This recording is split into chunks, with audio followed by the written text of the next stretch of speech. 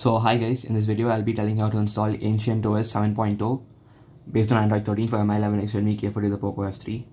So the prerequisites are you need to have an unlock bootloader and you have to stay on an MIUI ROM and you'll have to remove your MI account, you have to remove your Google accounts and you will have to remove your password and security. And you'll also have TWRP pre-installed. After that, uh, you should be having these two files in your internal storage is the ancient OS 13 ROM zip and the firmware part. Once you have everything, we can reboot into recovery. Let's reboot our phone into recovery by clicking on reboot and we'll keep on pressing the power up button. So let's head into wipe, advanced wipe and then let's select our Dalvik ART cache and then swipe to wipe. Once that is done, we can go back, we can go to install we have to select the firmware part and then swipe to confirm flash.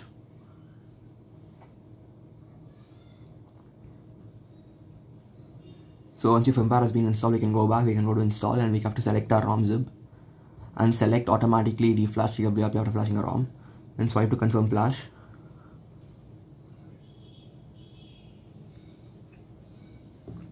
So once it's installed we can check for errors the ROM has been flashed successfully and the recovery has also been flashed successfully. The failed to mount errors can be ignored. Let's go back, let's go to wipe, let's go to format data and then type in yes. This will result in wiping out all your data.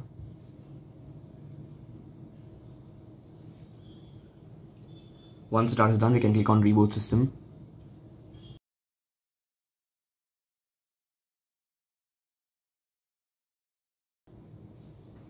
So the ROM has been booted can click on get started and do the initial setup.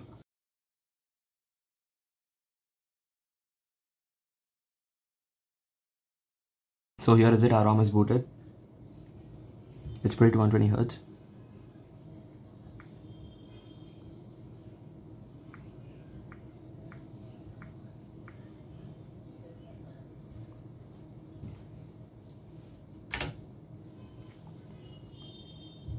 We have Dolby Atmos pre-installed that's pretty nice. And we have the Mi11X camera I mean we have the MI's camera that's nice.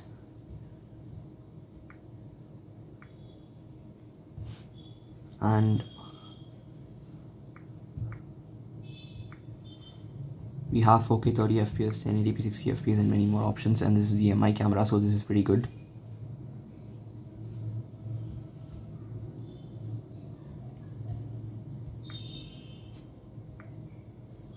and the Android version is 13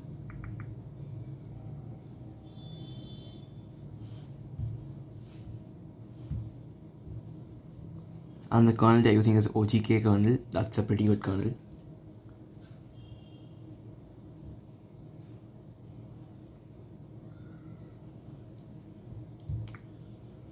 Let's go to the ancient features. Add-ons we have uh, ancient UI switch we can change the default clocks and we have header image. We have status bar customization and under status bar we have a status bar item tuner. We can remove and add anything we want. Like let me just remove the Wi-Fi and it's gone. And under logo we have we can display the logo we want and under other state other settings we have 5g 4g icon. That's nice.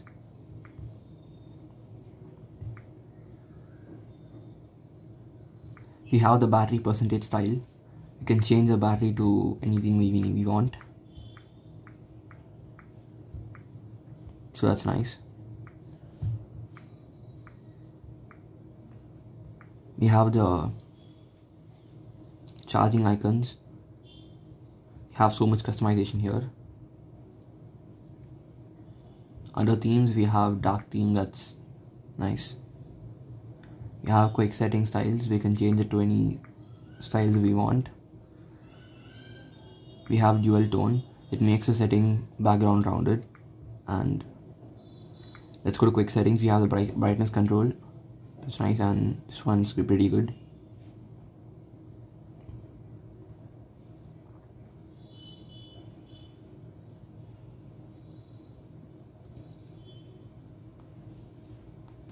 under buttons we have volume percentage and swap capacitive buttons and volume rocker wave.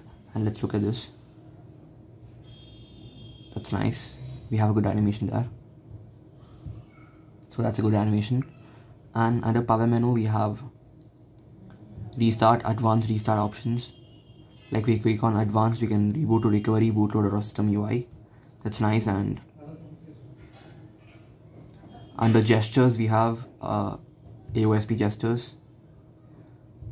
That's nice.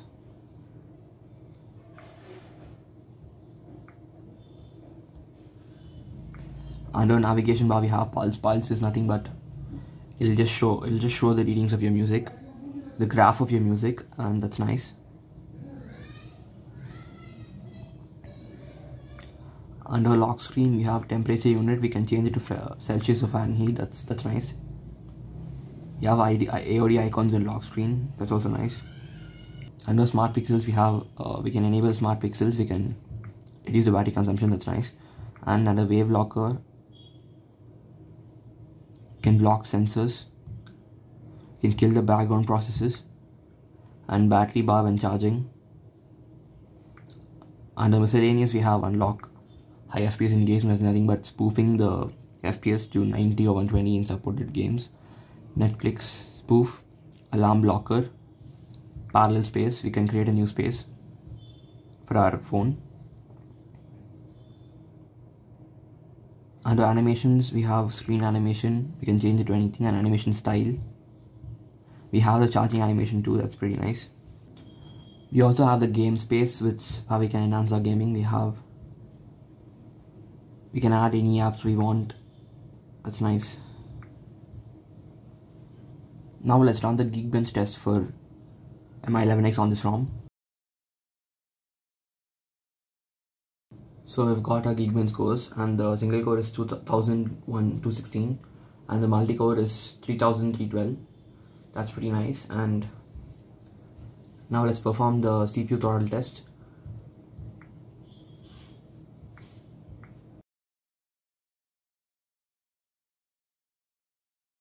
So well, at the starting we've got 90 to 100% it's stable but afterward the graph fell to 80% but it was stable so that's nice so if the video helped you on how to install Ancient OS, please like, share and subscribe. Bye.